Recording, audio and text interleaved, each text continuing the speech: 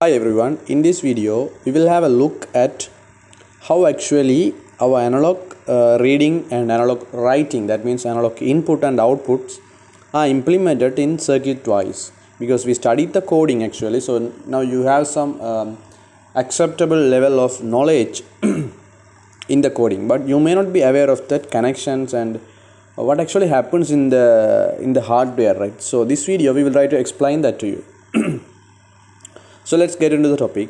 Have a look at the diagram. You can see um, that the, the whole diagram at the like i mean not the written part the diagram the picture the, with the arrows uh, will explain you what we have done actually. So we take an analog input from a preset or variable resistor that is written on top uh, on the left side top.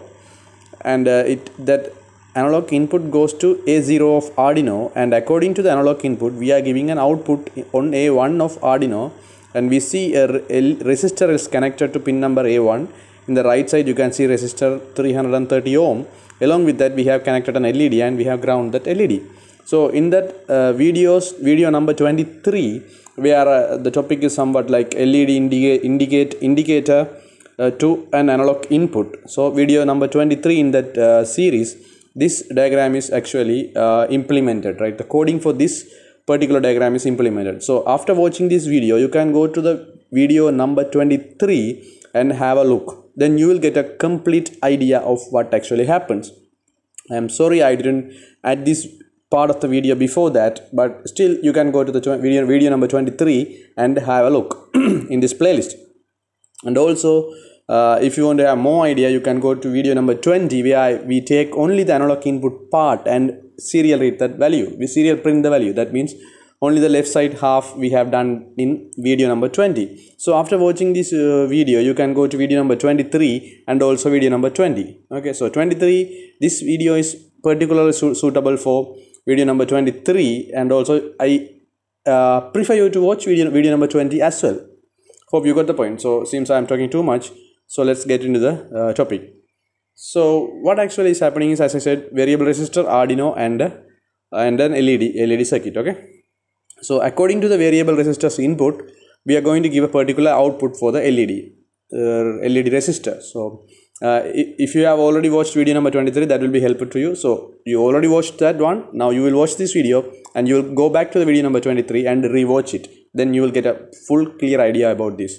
Then you don't need to worry about anything regarding to analog output and input right so let's get into the game game. So i will zoom it. First we will see the left side part okay?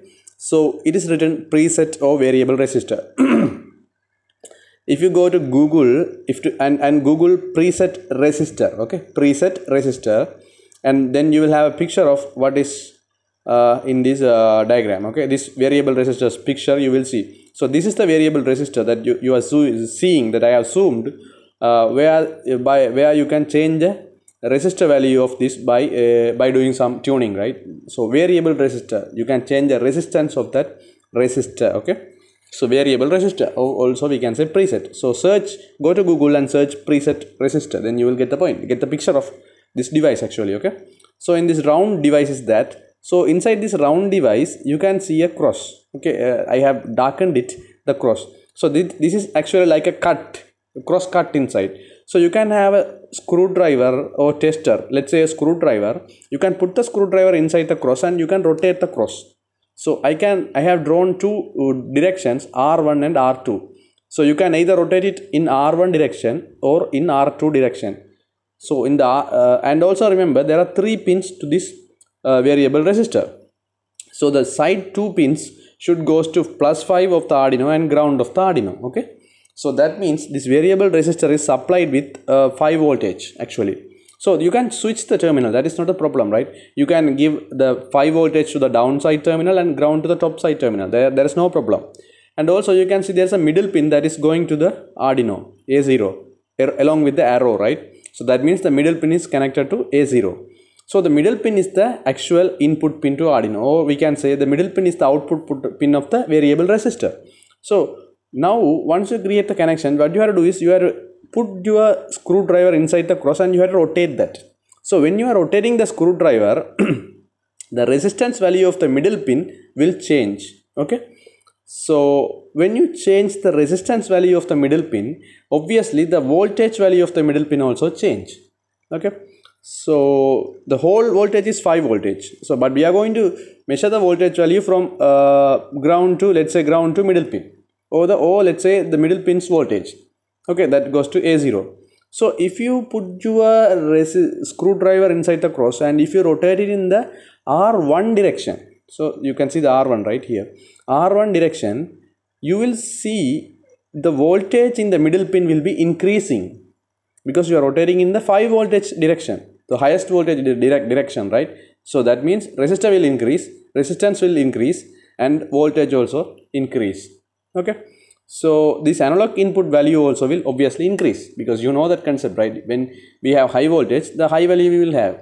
When it is at the topmost point, the R1 direction is at the topmost point that means in the 5 voltage then the middle pins voltage is also will be 5 voltage okay so that means a0 will give you 1023 you know that if you rotate the cross in r2 rotation uh, then we will see the middle pins voltage value comes down okay because you are rotating in the grounds direction now so if it is in the topmost of r2 direction the middle pins voltage value will be 0 and then a0 uh, analog pin uh, analog value will be 0 so if you don't understand 1023 and A0 analog value zeros, you have to go and watch the previous videos, especially the video number 20, okay? So I believe you have watched the videos properly and you have come to this point. Then this makes sense actually, right?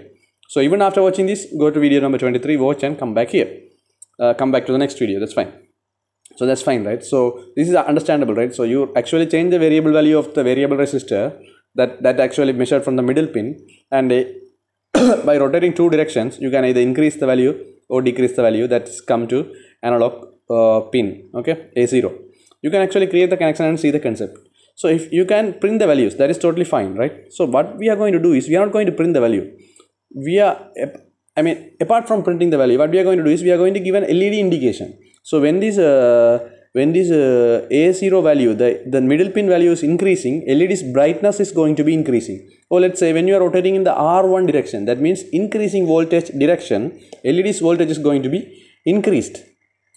When you are rotating the other side, that means LED's power or LED's illumination will be increased, brightness will be increased. When you are rotating the other side R2, that means voltage is falling down. Then the and then our output indicator voltages indicate LED's brightness also should go down. So we know using analog write analog output we can uh, increase and decrease the uh, LEDs uh, whatever we call voltage uh, brightness actually okay? That thing we saw in the previous videos. If you didn't watch it go watch and come back okay? So how we can connect this A0's input to the LED's output right? So basically what we do is you, we connect the LED to another A pin so we connect the LED to pin number A1 okay so A0 is an input, A1 is an output. So with the resistor, can LED and LED have been grounded. It is that simple, right? So now, how we are going to give that A0's input to A1's output? So by coding wise, we know the concept because uh, uh, in the last uh, one or two videos, so the video number 23, we have done this. I'm sorry, video number 23. We have done this. So you have to go and have a look or watch that one. Then you will understand how we have done that. Because we have uh, because a0 the problem is you can read the a0 value and you can immediately implement the replace the value to a1 right? But that is not going to work because input value will go up to 1023 and output value should be up to maximum of 255 right? Because those things also we saw in the last few videos. If you don't understand go to the last video especially video number 23 and come back. Okay that's fine even the last video uh, videos after that also would make sense i hope right so this is the algorithm for that, the, what I have written here. You can see this. We are taking the A0 read input, right? Uh, this is what we have done it in video number 23. That means the actual coding for this system. Okay, so what we are doing is we are taking the input from A0, we are reading the input and we, we can serial print the input, that is not a problem. And we create an equation that can convert this 1024 units input into 255 units output. Okay, so you may remember that uh, I created an equation like x plus 1 uh, by 4 uh, and um, I think minus 1 things like that right?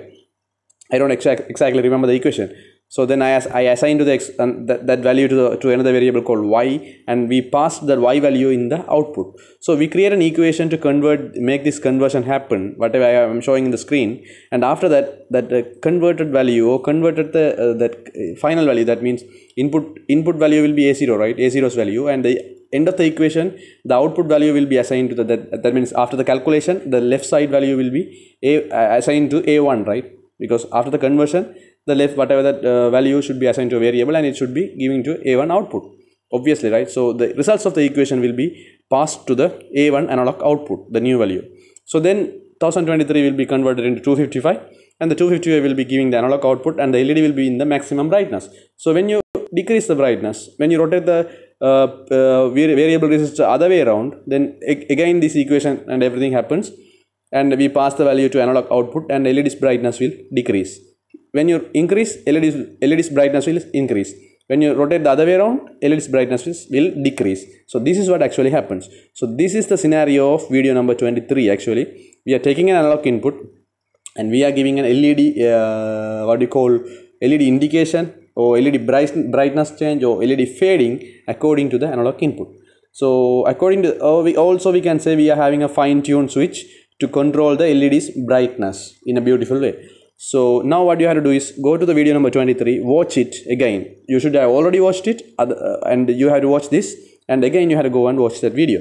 If you didn't watch that video, now go and watch the video and again come back to this video, then you will understand what actually happens.